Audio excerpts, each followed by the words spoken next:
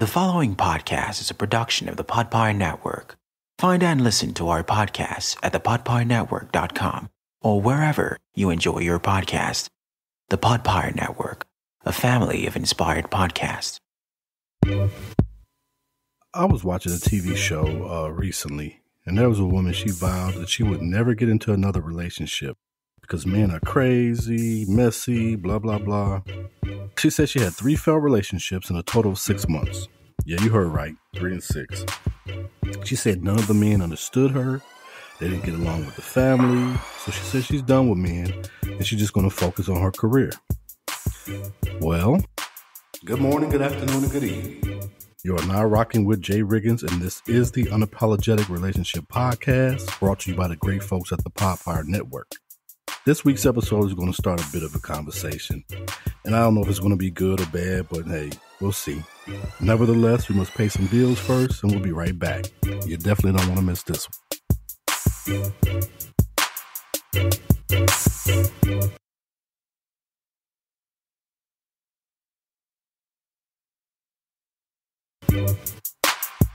What's going on, my people? And welcome back to the Unapologetic Relationship Podcast. I am your host, J Riggins. And I just want to do a little house cleaning right now and to say thanks to all of those that have been rocking with me since the beginning of the podcast. Thanks to all the support of my book. Thanks to all the people that spread the word about the podcast um, and everything that's going on with the Podpire Network. And please check out all of the podcasts at the Podpire Network. They're they're amazing. Um, you know, we support each other over here. So please, please do that. Please support them as well as the Unapologetic Relationship Podcast. Continue to spread the word.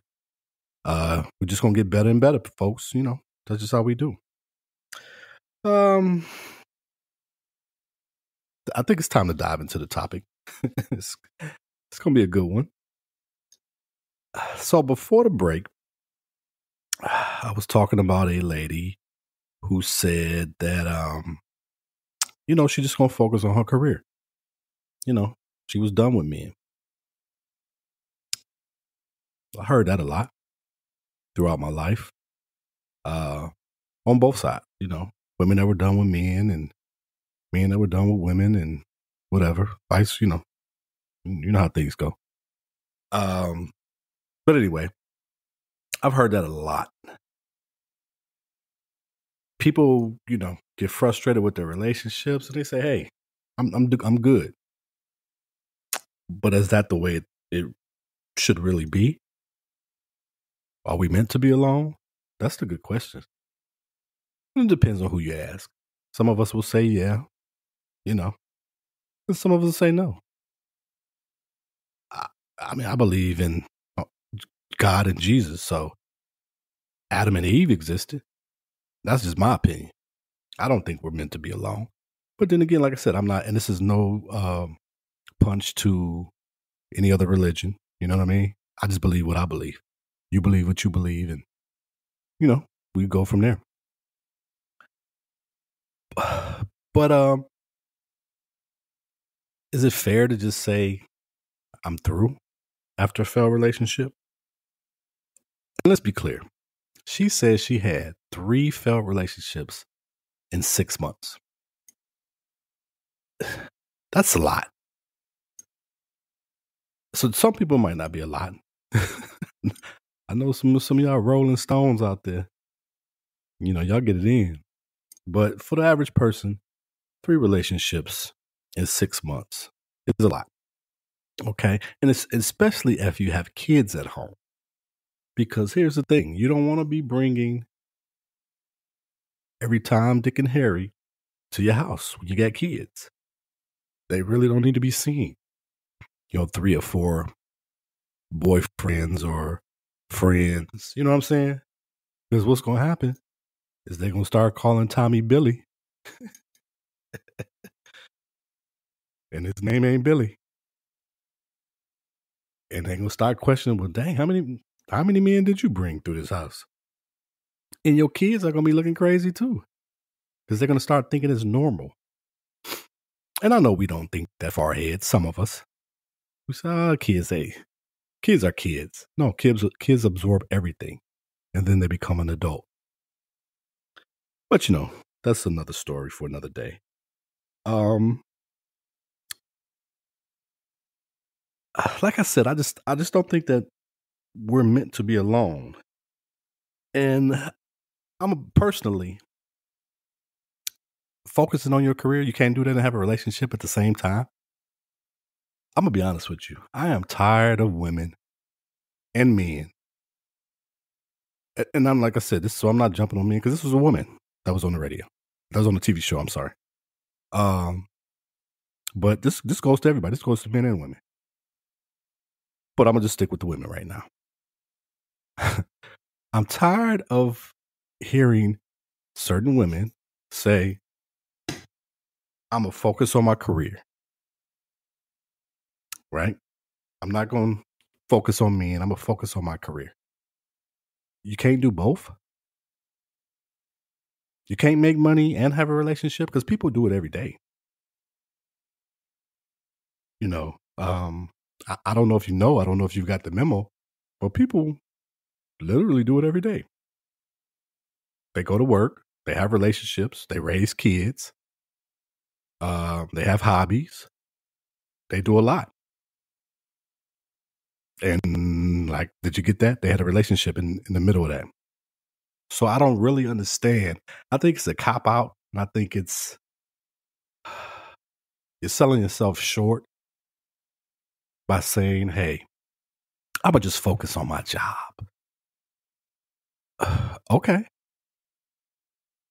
You know, and you think when you tell people that that it makes sense to them, like they just gonna walk away and be like, oh yeah, cool. She just, you know, she just focusing on her job. Now they talking behind you behind your back. Fellas, they talking behind behind your back. It just sound crazy. Like you can't have a relationship and focus on your job too. It's either your relationships aren't working out for you or you're just not good at it. let's, be honest. And you need to make better choices or better, uh, especially better choices of who you pick you know, um, that's just what it is. You know, I'm gonna call a spade a spade.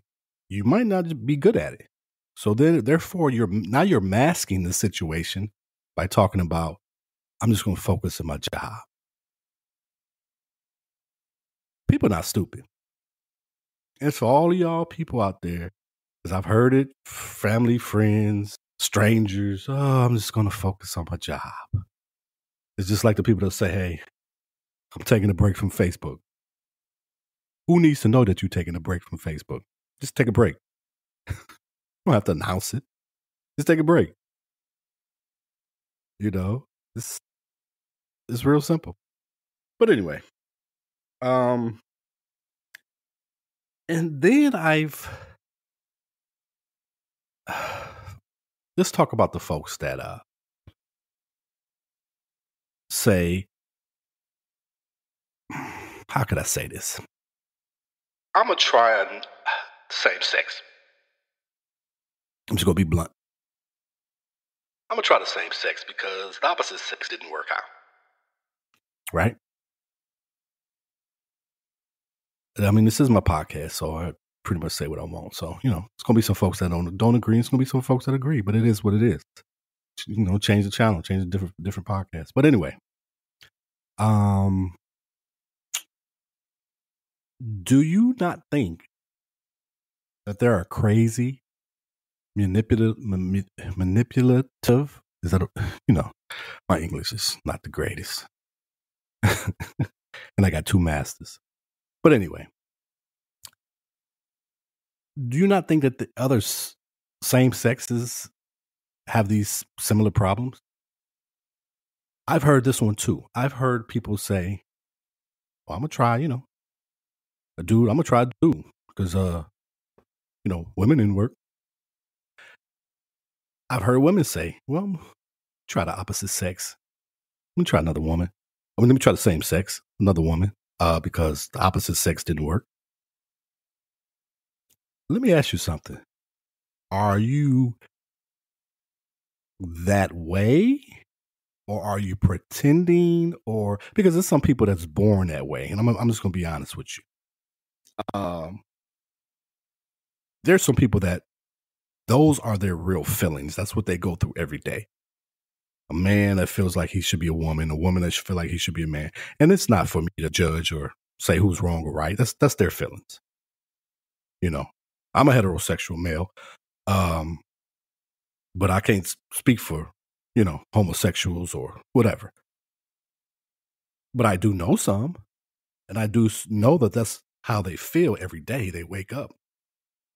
But for somebody to just switch in the ninth inning, is that is that what's going on in these streets? Is that logical? I dated a man, he wasn't no good. So now I'm gonna try another woman? And I'm a woman? Let's be clear. Do not think you're to escape foolishness because you're to try the same sex. It sounds stupid. Sound crazy. You sound crazy telling it to people. Well, I'm gonna try. You know, ain't no good men out here, and, and that's another thing. St- stop using that stupid statement too. There's no good men out here. You know what the you know what the population is on this earth? I don't even know. I ain't even did no research. I'm just out here f- free balling. Um, I don't know, but I think it's a lot. I think it's a lot where you can, you know, you single, you can have 10 each. You know what I'm saying? You can have 10 on standby. It's that many. so, all of this, there ain't no good men out there. Where are you looking? And there's a chapter, and there's a chapter in my book. This is piggybacking off of my book. And please pick up What a Man Really Wants to Say About Relationships, Revised and Unapologetic by J Riggins. It's a good read. And it's relevant. It's it's gonna be relevant for the rest. That's that's a book that's gonna be relevant for the rest of our lives. You know what I'm saying? It's not a seasonal book, it's a life book. And it talks about all types of uh, issues and relationships. So, but this is one of them how to find the right man or woman. Where are you looking? You know what I mean? Like, where are you looking? If you want this, if you want a certain type of man, or man, if you want a certain type of woman, wouldn't you look at places that they hang out? I know a lot of people that avoid these places. They say they want a good man, that works out, but they don't go to the gym. Did you get that? I want a man that works out. I want a man that's a health nut. I want a man that's this and that, blah blah blah. They ain't go. They ain't going to no juice stores. They ain't going to no gyms. Where do you think you're gonna find that man that's a health nut? In the, the at the chocolate factory? me let me take that back. I don't want no, no parts of that. But anyway, at, at the candy store, in in the aisle for the chip at the for the chips at the grocery store, where are you gonna find these dudes at? You saying you want a health nut, but you're not looking in none of these places.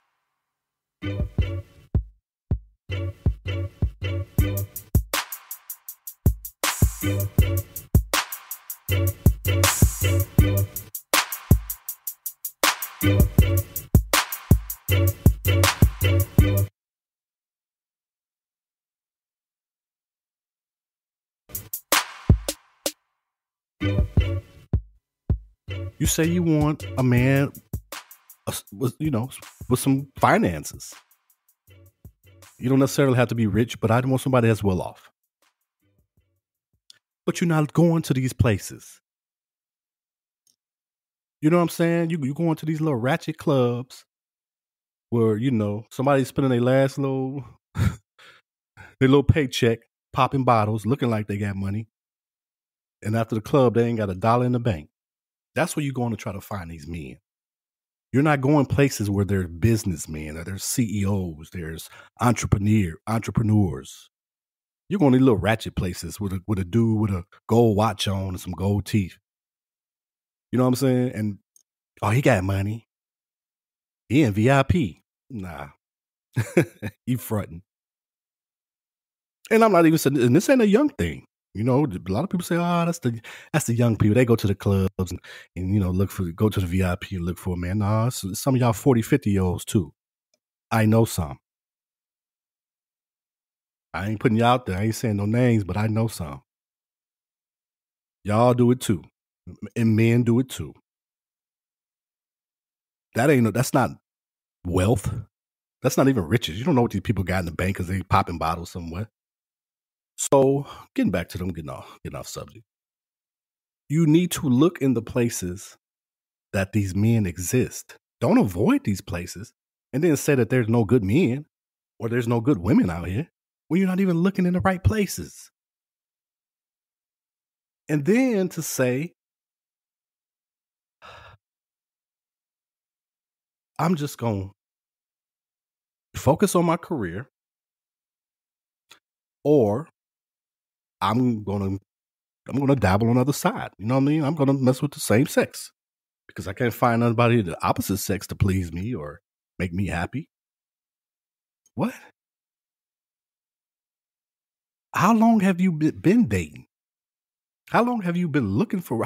You know what I mean? Like, what number made you get to this point? Was it the 20th person, the 20th failed relationship, the 25th? What made you get that dram- dramatic? Like, is there a, is there a certain number? That's really what I want to know, so we can spread the word. Like, 25 is a killer.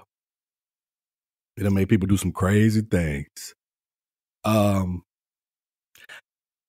I just want to give a shout out to my single folks out there because I used to be you. And as much as some of you might front like it's a good the good life, I know it's really not to some of y'all. Some of y'all want a man, some of y'all want a woman, and you just don't know how how to go about it. So you make excuses. Excuses is not going to keep you warm at night. Excuses is not going to sit on the other end of the couch and laugh at these st- stupid movies or or hold you when a scary movie is on. These excuses ain't to do that. So you can lie and you can front to everybody out there that you don't need no man. I don't need no woman. I'm good by myself. We know that ain't true. Everybody wants somebody. It's just a matter of finding that person. A lot of y'all run people off too. Let's be clear about that. A lot of y'all think y'all stuff is straight, and it ain't. And y'all run people off. It's some stuff that you need to fix. We all have problems and issues that we need to fix. And it's all about just working on it. But don't make excuses. You I've seen men and women say they're looking for somebody or going or going on a date. Let's let's be let's be clear. They're going on a date, right? They ain't got their hair done. They ain't got no makeup on. The dude ain't got no haircut. He got some white shoes with scuff marks on them. If you're looking for someone, make a good first impression. Well, she ain't gotta be. if you make a good, if some of them dates that you had and some of them men and women that y'all meet, you made a good first impression. You wouldn't have to be talking about. Nah, I'm gonna be batting for the other team just because the the opposite sex didn't. I'm gonna be batting for the same team because the opposite sex didn't work out. You know what I'm saying? So make yourself presentable. I know, I know people, I've known people, I know people, and I've known people that will go on a first date looking like they just took out the trash and then expect that person to call them back. Yeah, he ain't called me. Now, you know, I don't know what's wrong, you know. I told him I had a daughter and, you know, so maybe that maybe that scared him off. No, that didn't scare him off. Your wig cocked to the side scared him off. Yo, them butterfly eyelashes where one was sitting on your cheek. That scared him off. Dudes, them, them them two small shoes you had on and that tight sweater scared them off.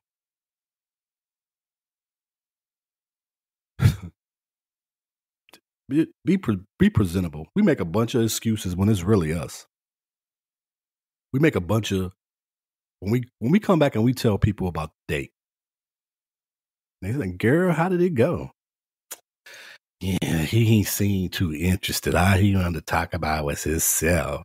And he's self-absorbed and ooh, ooh, ooh, ooh, ooh. When you're really lying, this was a good dude, but you ain't bring nothing to the table. You ain't bring no conversation. You look crazy. You sounded crazy. But when you come back and tell your friends, it was all him. You blame it on him. And that ain't the case for a lot of these situations. Fellas, that ain't the case for a lot of these situations. Yeah, man, she she, she a gold digger. All she talked about was money. Woo, woo, woo, woo, woo, woo. Ain't nothing wrong with talking about money. I like money. I don't know about y'all. But what you bring to the table with your two little sweat on and your ashy elbows.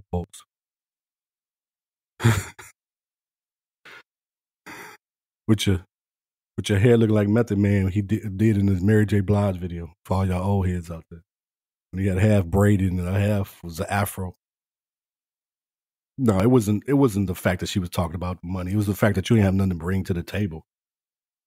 So she talked about something just to make the time go by. Let's be real. As y'all can tell, I'm just getting towards the end of these podcasts. Later on, you know what I mean, down the down the line in these podcasts, I'm just gonna be real. Um, kid gloves off because relationships are failing right now, especially in the black community brown community, they're failing. There's a lot of single people, a lot of single people that don't need, don't have to be single. They're single because they lie to themselves and to others about what's really going on or what they really want or their true feelings, whatever. It's okay because it's somebody for everybody. That's the name of this podcast. There's someone for everyone. all these people in this world, you're trying to tell me you can't find nobody?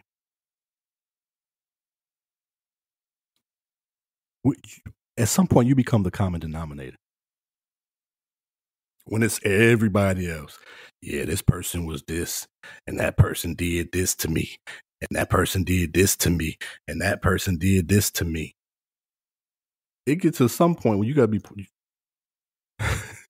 you gotta be thinking it's you. You have to. You done went through 10 people and they all treated you the same? They all gave you problems or gave you issues? No, maybe you are the problem. Let's be real. Maybe you're the problem. They ain't the problem. And I'm not saying that they didn't have their flaws or faults, but maybe you were the main problem.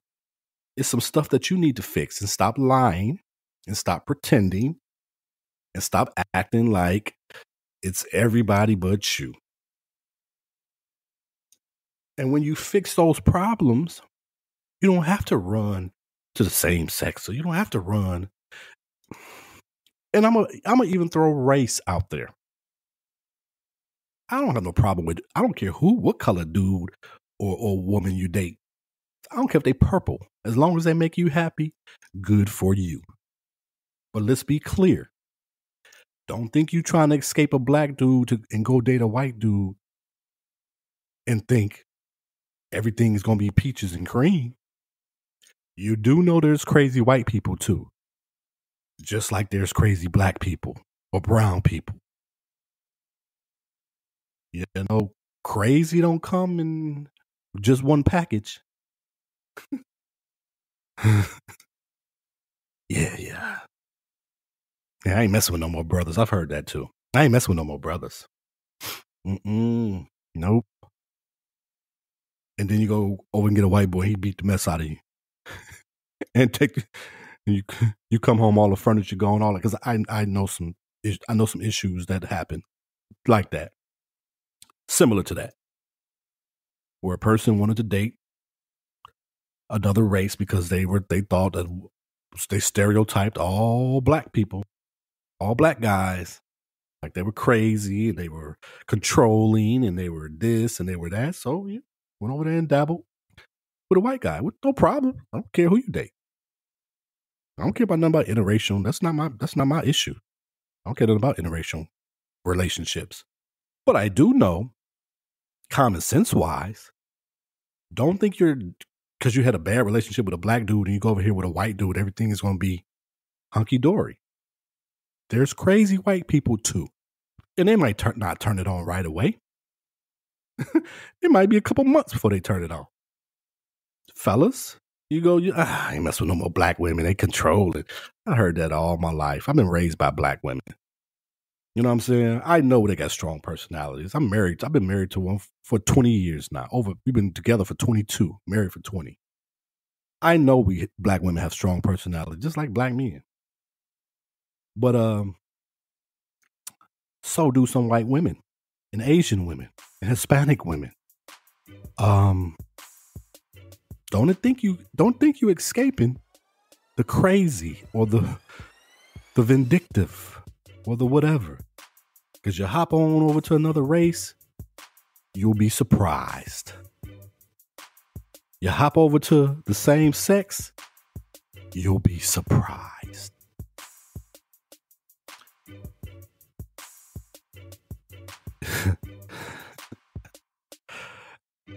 I, I shock myself sometimes. I think certain things, but I'm a Sagittarius, so it comes out. And I, this is my own podcast, folks.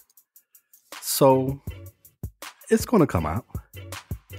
And trust me, down the line, it's going to get a little more bold and a little more bold because I got to gently bring you guys in. But at the end of the day, my goal is to help fix relationships. That's my purpose. That's why I created this podcast.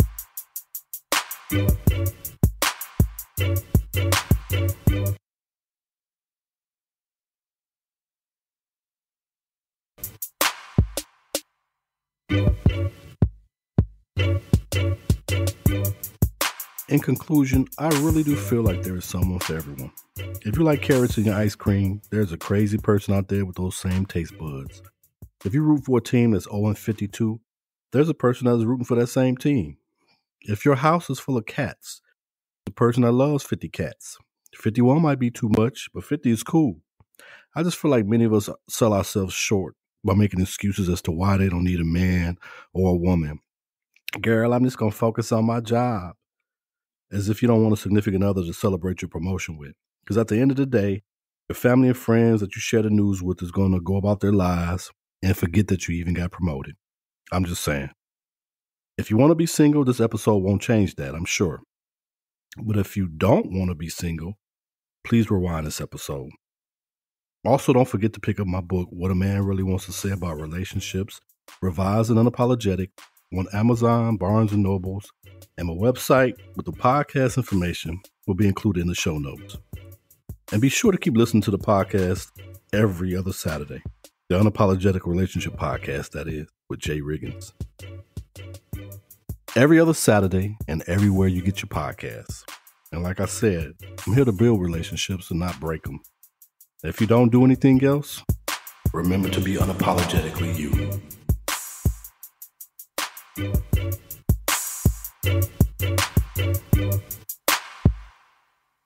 Yeah.